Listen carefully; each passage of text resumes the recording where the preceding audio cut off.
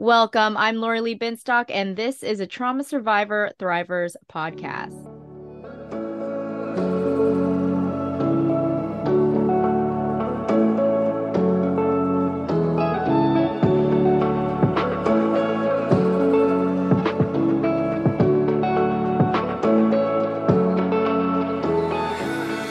Thank you for joining us for a Trauma Survivor Thrivers podcast now on Mental Health News Radio Network.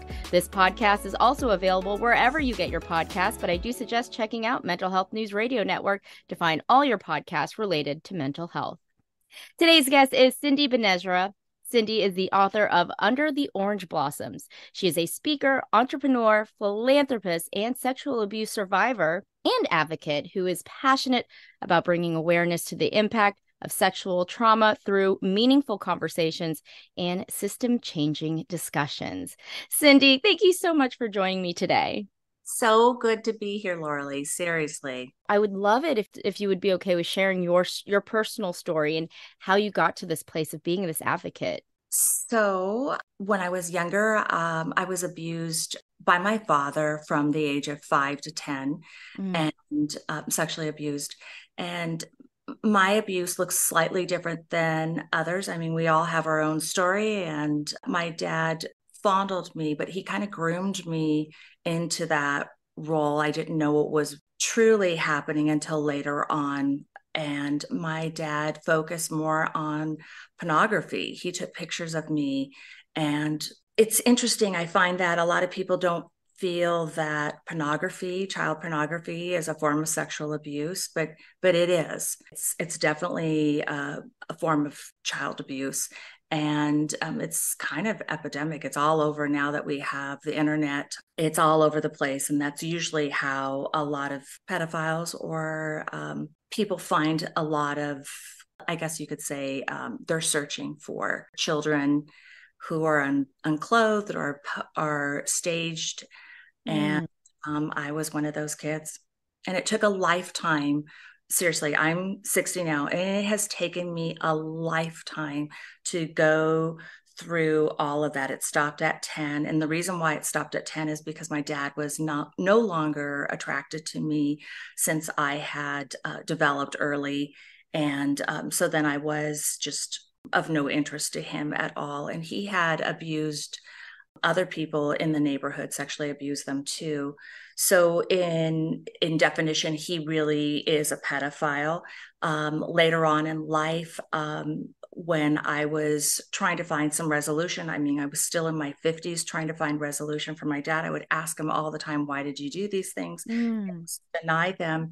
And um, when he started talking and he was in his 80s he admitted for the first time that he did do those things. And I started to interview him and do a lot of audio. And then I do have um, one footage, and it's on my um, YouTube channel. Um, what he finds attractive in young children. And I said, you know what, Dad, I'm going to write a book. I'm going to write a book about our life and maybe somebody will find some healing in this form, maybe either um, some realization of maybe a mindset of a pedophile, or maybe it would be um, what my i mean it's my story and we all go through our own stories but it was my story of what i had gone through and i found it interesting that a lot of people wish that their um, perpetrator would have apologized and i think that was kind of like my greatest epiphany in this whole thing was what does that apology look like and what would we do with that apology? And um, that was uh, in that process i realized i never really got the apology. It wasn't what i wanted to hear and that was the magic in the work through this whole process. And no matter how much therapy i had i think i was waiting for an apology and i never mm-hmm. got that. And then to come to terms that okay i didn't get the apology that i wanted to and i didn't get those years back and i didn't get I still had anger. And what I realized is that a lot of times um, we hold the key to our own grief and our own anger. And that was my greatest epiphany that it's it's a process in life if we want to hold on to what parts of of our what parts of our grief do we want to hold on to and why and when we let go what is that the healing that we want to receive? But it took me years to figure this out. Wow. I, I was also sexually abused by my father. And I feel like it's a whole different situation. And I, I want to ask did, did you tell anybody?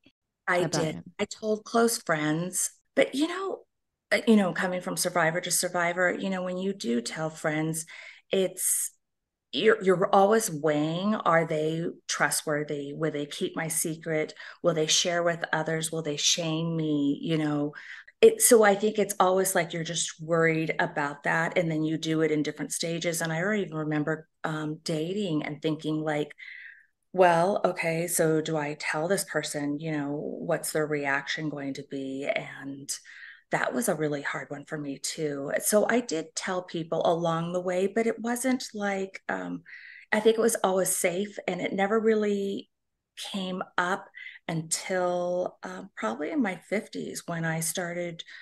I sat around. I was on vacation with some girlfriends, and I said we were all sharing something about ourselves.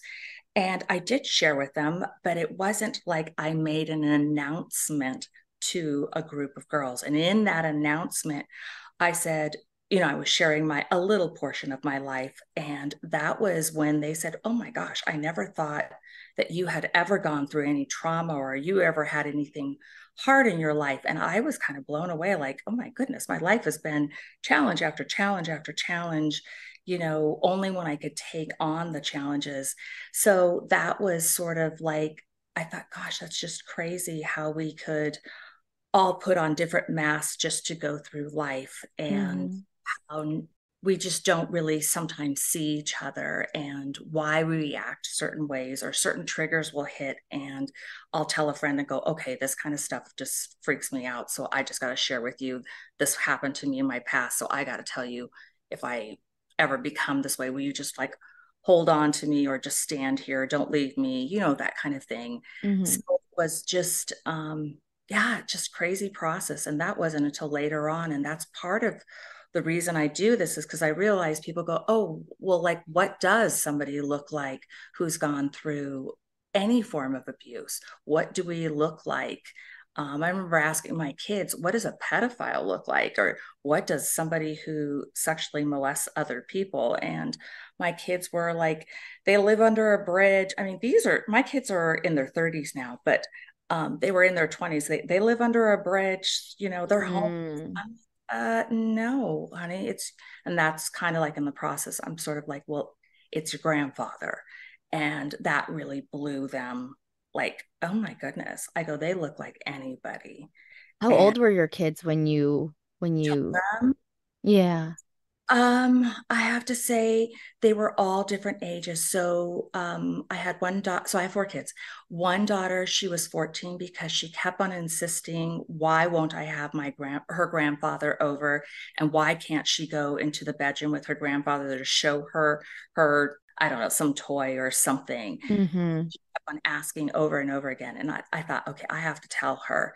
So, um, and then after that, I think it was trying to help her find boundaries with her grandfather. So when he would come over, I would only have him sit at the dinner table and we would have a meal together and he was allowed to go to the bathroom. And I know people say, well, why would you even do that?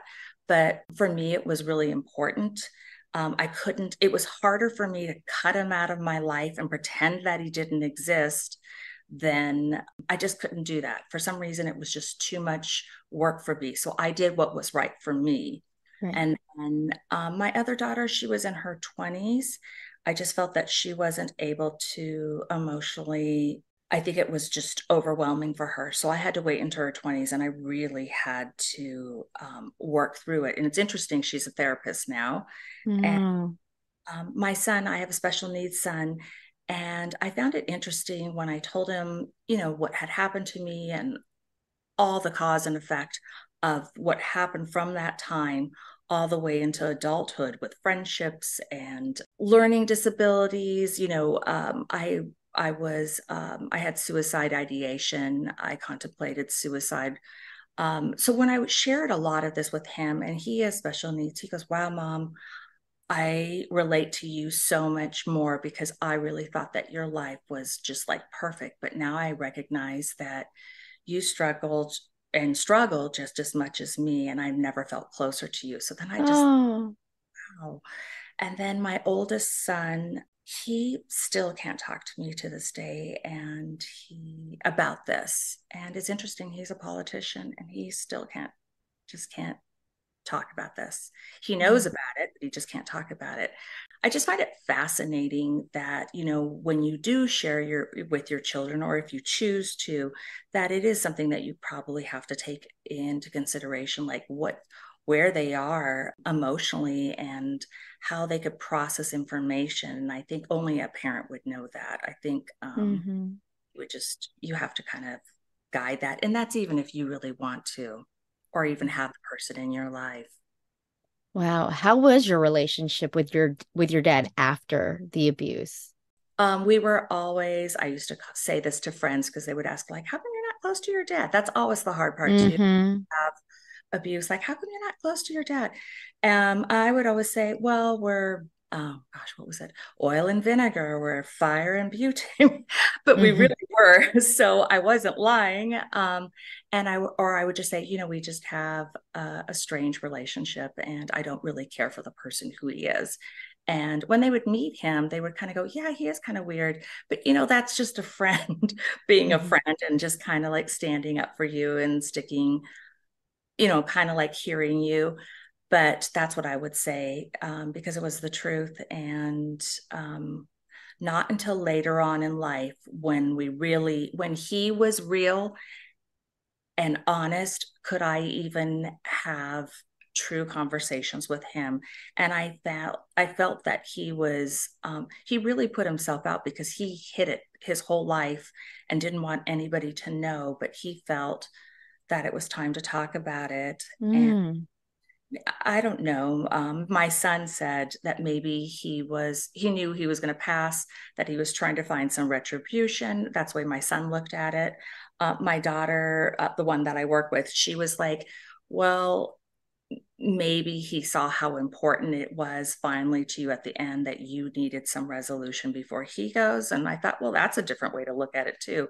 So who knows what the real answer is or where he was going but I think he struggled in sharing a lot of his his truth. And when I heard it, and as I was interviewing, I have to say, most of the time I wanted to vomit. Like I felt mm.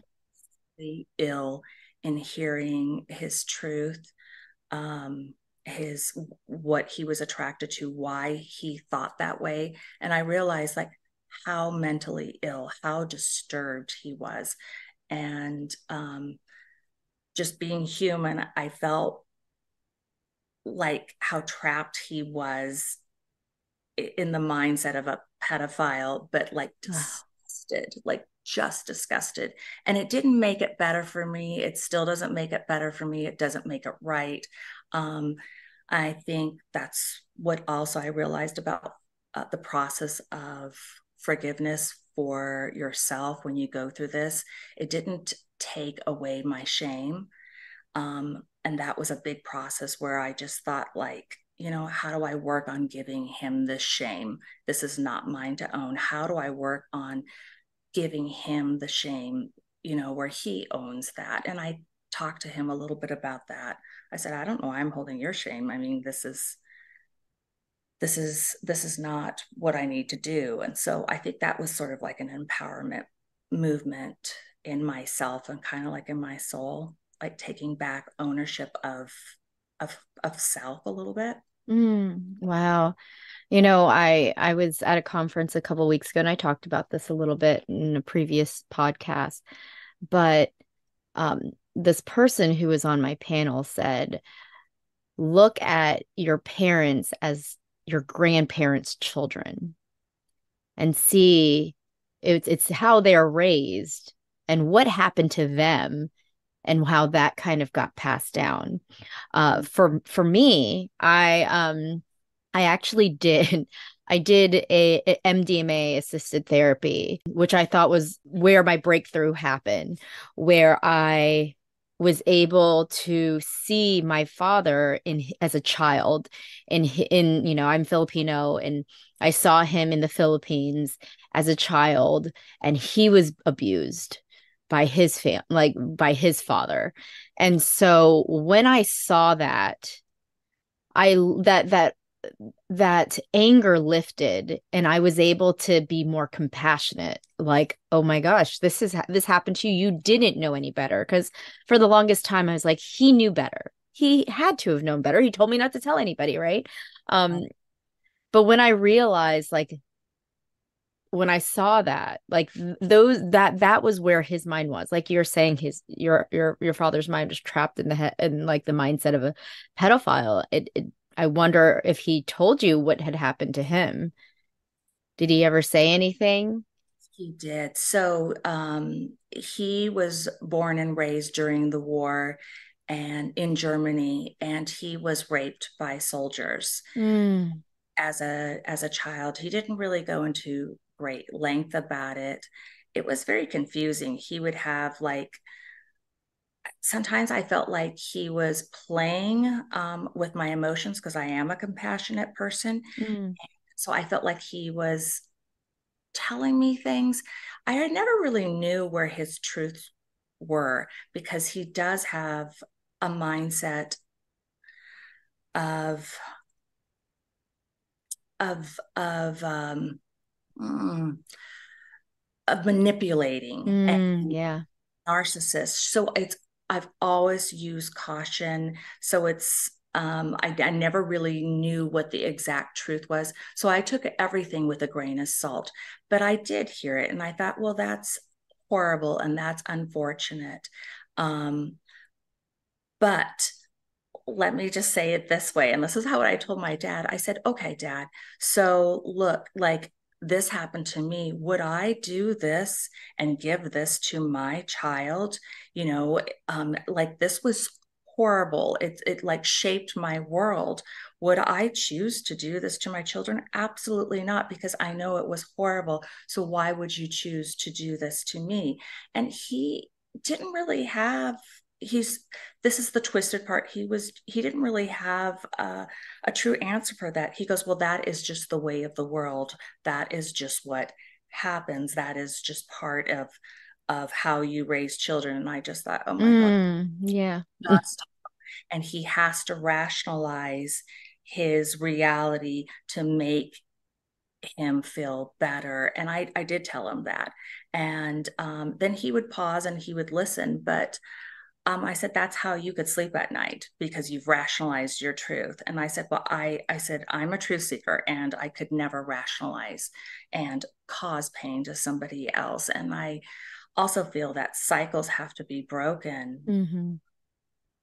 Otherwise, I don't know. I feel like I don't know how often this has happened in our family. I haven't heard any stories, but I do believe that cycle should be broken. And um, we are in an age now that we have resources where, like you and I, could communicate right now, and yeah. hopefully we could break these cycles. And I think when you talk about these things and just any part of it, I feel every time I do, I feel that cellularly there's a change in our bodies that we could heal and it's it's not just what we say verbally it's it's really like in the structure of our body and it's that that book um uh oh gosh uh see the body, body the body keeps the score. It keeps the score, exactly.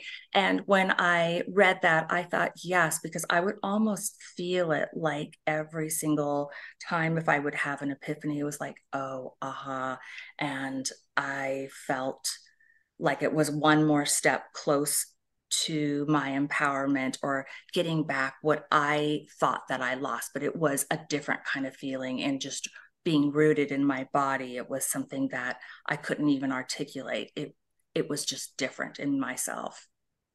Wow. You know from when you when the, the abuse happened and you know a lot of people go through ptsd and certain symptoms where they're just they medicate they self-medicate. They you know there's something that you know like I, I believe it or not, and it's very weird to say, is that, you know, I I mean, I really just went down a rabbit hole of just like bad behavior. And I, you know, my parents would always say, my mom would be like, "Oh, you're you're just a bad teenager. You're a bad kid." And and I thought I was, you know, she they t- kept telling me this, but I realized 20 years later that it was all a symptom of the abuse and you know i you know i was promiscuous i did drugs and i drank and i did all these things.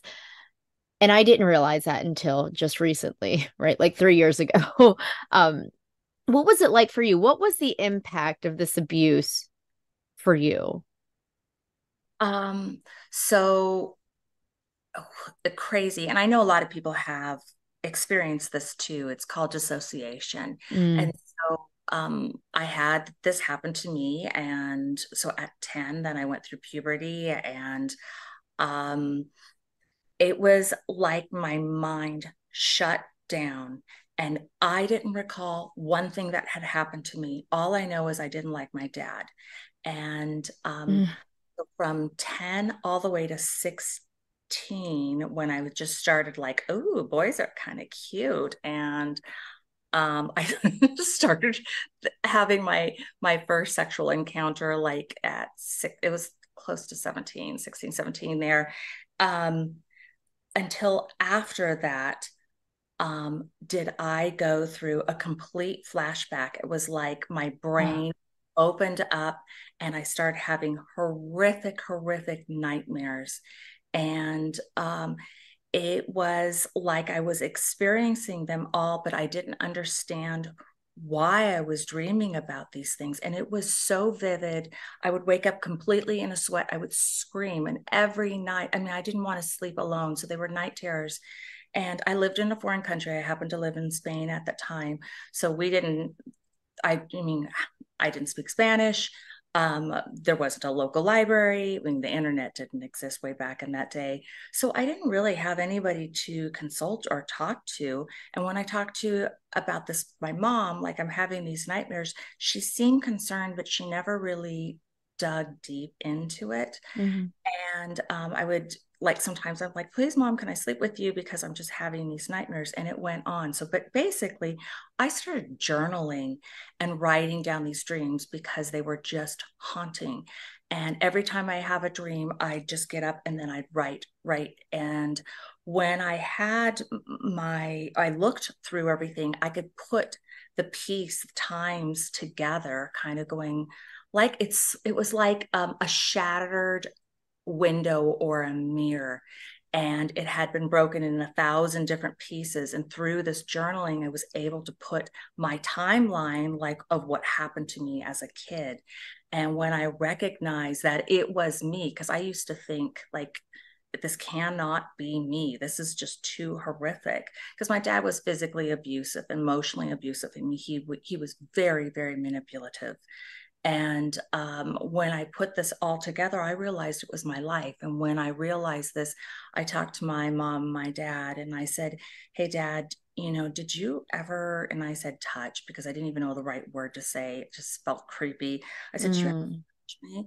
And he's like, No, why would you even say that? And oh my gosh, like what's going on with you? And why would you do this? And then the other thing was like, maybe you read it in a book maybe you saw it in a movie. And i thought oh deflection. I mean i could see this all now. And then it was oh, are you okay? Are you like like i was crazy or something. And i thought i remember looking across the table at his big blue eyes and thinking oh my gosh you are lying you know this is the truth this is the truth and then i went to my mom and my mom was like oh my goodness, why would you start this up? You know, why would you start talking about these things? And I thought, what is my mom hiding? And she was like, everything's going so well in my relationship with your dad. And, you know, why are you going on? I just thought, oh my gosh, what is going on?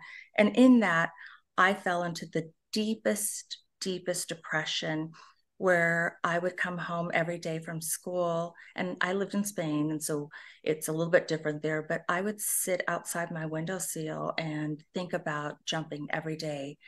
and mm, what gosh. were the pros and cons of life like why like i couldn't deal with this horrible dirty secret? And i couldn't have taken enough showers or baths to get the smell off of my body or the just my mind felt heavy.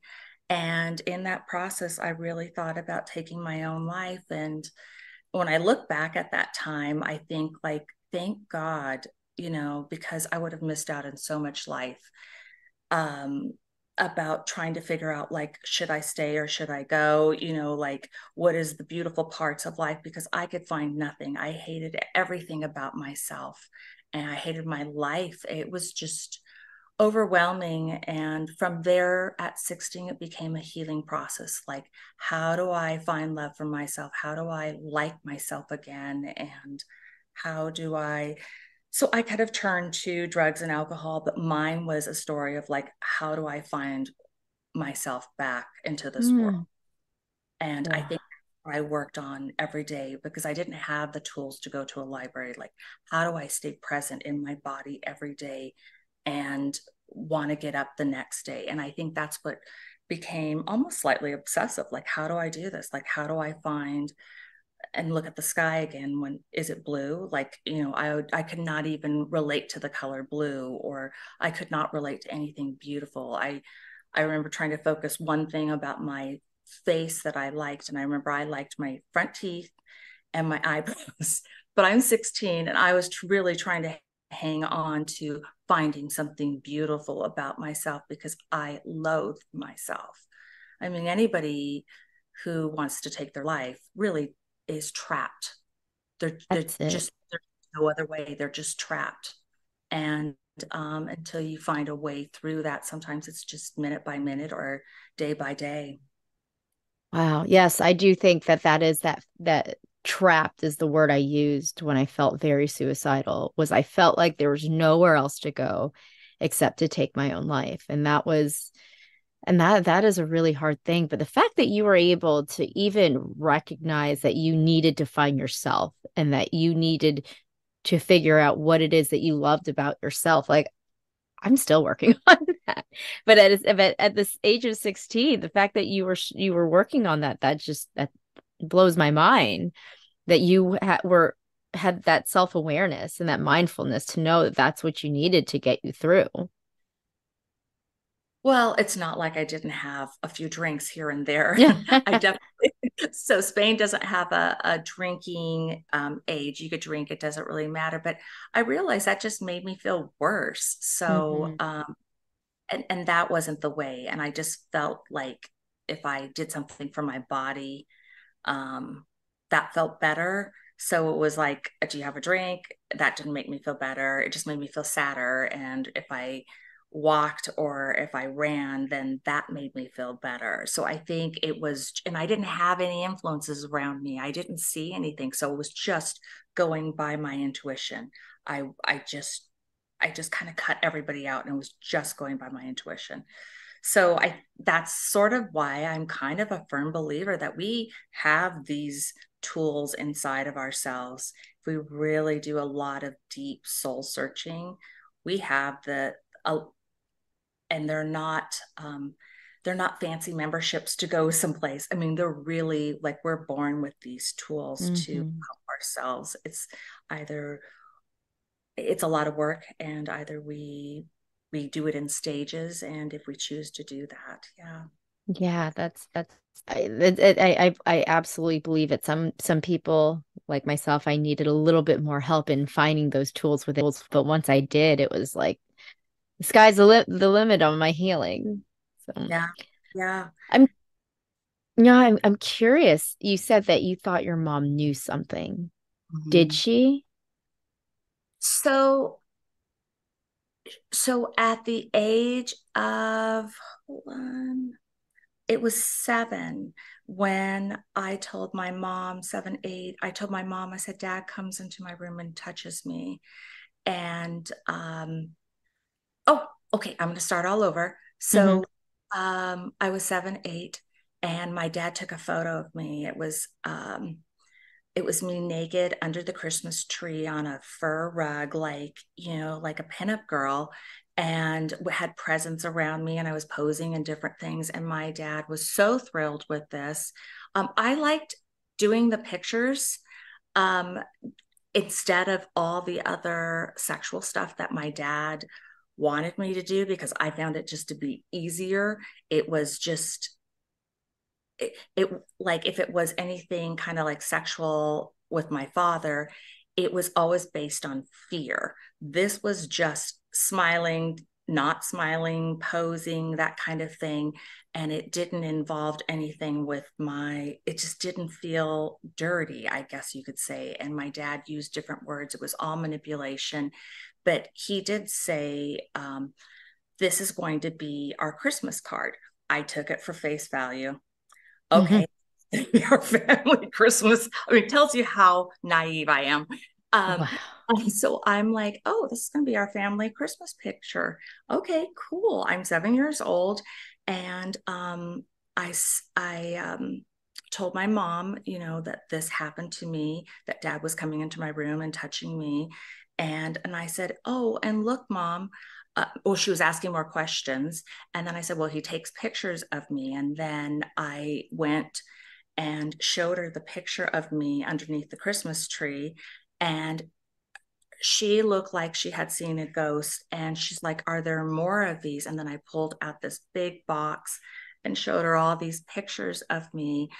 And um, I think that's when I told my mom. My mom um, left my dad.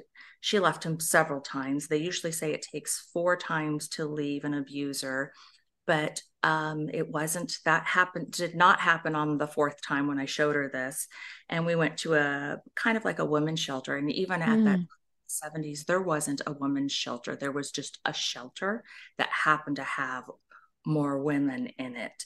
And so we went into, a, they didn't even have a sex kit then. And um, what happened is that um, since they didn't have a sex kit, um, I had bruises. I didn't have broken bones. I had my hymen intact. Um, so they put me back into the home, and my dad said that he would never do it again to my mother. So my mother moved back. And it's also part of our culture. a lot of times these things happen a little bit more in certain cultures. Um, yeah. So um, it was my mom went back and she believed my father, and she also felt that she couldn't work and hold a job, and that he was a good man, is what she would say. And I mean, he did treat her fairly well. I mean, he did what she valued was having a roof over her head and um, uh, that he treated us well, but that was to her what she saw. But I remember saying as a kid, Mom, I would live on the streets. I would take my kids out. I would take my kids out of this. I would never even put my, up with this. Um, you could find a job. You're so much better than him. You're gorgeous. You could marry anybody. You don't have to even marry anybody. You could do anything. And I remember thinking that. And then when she would go back time and time again, it was just the most disappointing thing as a kid and i'm sure that impacted me in some ways too where i just thought you know what? I would never do this to my kids. I would live you know i would just never do this to my kids. But it was um, a conversation i had later on with my mom and it took a lot to get over it. And um, i don't think she really saw what i was really going through as a kid and i realized that my mom had been sexually abused too so. Mm you know, a lot of these cycles, and we rationalize a lot of the behavior. And um, so I understood her a little bit more, but it doesn't make it right. And right. I'm telling her that, and I'm sure that was very hurtful for her to hear. It doesn't make it right.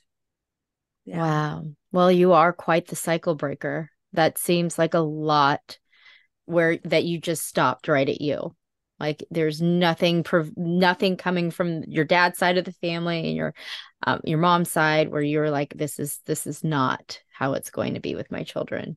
And so that is that is such a brave step. And i don't think a lot of people understand how difficult that is. You have to do a lot of relearning. Oh gosh. Well it's not only the relearning i think it's the cycles in the family because when you do share something like this that um, this happened in my family. It's not like you just get out and go, hey, mom abused me, you know. Right. Everybody, yeah, I told you. Now let's go on with life. I mean, it is like a nuclear explosion in families. And those that want, I mean, what do you do? Like, I remember my mom saying, I know it sounds crazy. What are we going to do for the holidays? I was like, oh man, like I'm in a different, I'm like, really? That's where you're at? And I was, oh wow. Like um, what are your what's the family going to say? We're a good family. And i just remember thinking you know like okay these are the consequences. And what about siblings? You know how do they you know it you they it might have happened to them. And you're also telling this is your story and you have to keep it to your story. And you mm-hmm. had that sibling out and i just realized it was way more complicated with the family. And a lot of times I hear that people get alienated from their families because they did break a, a secret. They did break, you know, what stays in the household, you know, what happens behind these walls stays here. So um, that is to me, I found that to be in some ways more difficult because there was, I wasn't just dealing with myself, I was dealing with lots of other family members. And if you have a culturally tight family where there's aunts and uncles and cousins, you know, then that is that's that's the challenge. And I think often um, that's what keeps us quiet is because of that dynamic. Yeah, I do think that um, incestuous sexual abuse can feel more damaging because like you said we have to ke- there there's this there's a secret that the family just wants to keep within themselves you know i think if someone else came in like eh, you know i'm i'm pretty sure 95% i think that's the between 90 to 95% of people who are abused are sexually abused by someone they know mm-hmm. and then but you know then there's uh, uh, and and i think we don't realize how prevalent it is because like you said earlier you know when you're when you ask your children you know what do you think a pedophile looks like? and they were like oh it's a person under the bridge. It's someone who's just living on the street. And that is that is quite the opposite. And i think we need to really bring that conversation you know to to the forefront like no it is it is the people around us. And so we need to be more vigilant and we need to stop forcing children to, from hugging their you know like you know I, I know growing up it was like hug your uncle hug your aunt you know? And it was like now they're telling you no like let your child make that decision for themselves. And and and so that's something that i think people are just just trying to grasp and work on now right i think you know um, that was something i even did you know when i look back at my kids i would say oh hug you know hug your grandfather and i was just thinking like how creepy is that? You know just knowing where i came from and then later on i would just say well say goodbye say goodbye you know like obviously like normal responses. And i thought oh they don't have to hug him if they don't want to. And i would just say say goodbye you know that's normal. You say goodbye hello and goodbye to people. So mm-hmm. um i think it is just different ways of parenting now. And um it's just something that we have to be aware of you know in this generation. They're probably listening to this thinking like of course you guys like of course. Why would you force your children to hug somebody? But it's also to i think in the hispanic culture it's very you always show respect for your family and you hug and there's mm-hmm. a lot of physical touch in there too. So how do you keep that um, those boundaries and then respect yourself and respect you know your children show your children like if you don't want to then you don't have to but right. Yeah yeah. Well um, cindy is there anything else that you would like to add Oh my goodness, Lorilee. I could seriously, I could talk about this for like a week on I, I do enjoy talking to you. I would I would really I feel like this episode could go on for hours with everything, just my personal like curiosity and interest in oh my gosh that happened to me too but how did you respond you know i'm it's i feel like we could do this and and you know and i i appreciate all the the information that you're providing to this audience because I think it's it's powerful. But I but I do want to know like is there anything that you feel like this audience needs to know um, to help themselves, to help everyone else, to break down any type of stigma, anything? Well, eh, share this episode, you know, but I do want to say to those who have walked a similar path as we have that there is hope. And I do know, I really do know this, that if you are searching for healing, that it takes time. Um, there's no magic wand or bullet. Um, that it's a it's a time thing, and even if you go to two therapists, it it's your mind and your body could only handle so much in certain stages. So be kind to yourself and recognize that it's a process and if it takes you know years and years just hang on because there is more beauty and more freedom into coming and growing through this process at the end. So hang you know hang in there and there's lots of people who have gone through and find healthy relationships and find themselves all over again and actually in some ways, I've come out richer and fuller um, in emotion in digging so deep. Um, so there is uh, light at the end of the tunnel. Yes, there is. And thank you so much, Cindy. I really appreciate you joining me and sharing your story because I feel like it's an important story to tell. Because, you know, every time I've told my story, a lot of people have come out and said, you know, that that something similar has happened. And so now I feel comfortable talking to my therapist about it when they went through therapy for so long without even talking about what had actually happened. And so it's stories like yours that help other people get the healing that they need. Thank you. And the same with you. You know, if you um ever feel like reaching out, you know, I'm here. I'm at uh, www.cindytalks.com. I have a blog. I um, would love to hear hear from you. I have a, um, also my book coming out in Spanish. It's in English too, and that's under the Orange Blossoms. But um, I'm also on Instagram and the social media. But it really what I care about is you and letting you know that you are not alone. And um, as Lorilee, she's like the most beautiful example of how how survivors do come out and um, they live we live beautiful lives and you will too. Yes absolutely.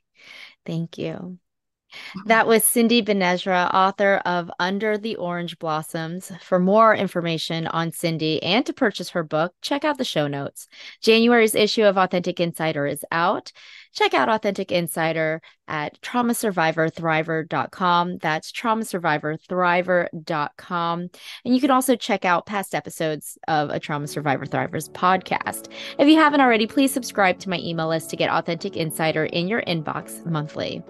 We will be back next week when I speak with Dr. Victoria Johnson when we discuss how she survived abuse, became a trophy wife, to then become a surgeon.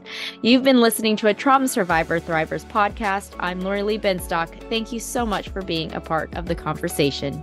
Take care.